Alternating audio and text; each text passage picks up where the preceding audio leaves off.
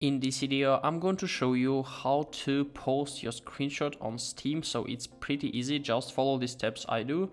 So it works for Windows and for Mac. So this tutorial will be pretty helpful for both platforms. Don't forget to subscribe and let's go. So firstly, we need to open the page with all of screenshots on Steam. So how can they do this? Find your nickname right up here and then just open the activity and after that in this menu we need to find the screenshots. So open the screenshots right up here. And here we can see all all of our screenshots uh, which were made. So um, this is the way how can we publish them. There is only one way.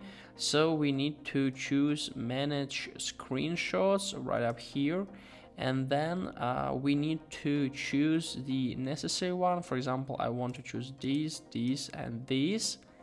And uh, here we can see different options. So make public make friends only make private make unlisted or even delete. So um, we can to make them um, post it we need we can choose two options to make public or to make friends only. So to make friends only it means that they will be available only for your friends and to make public that they will be available for all of us. So i think the best one is just to make them public and then just click on continue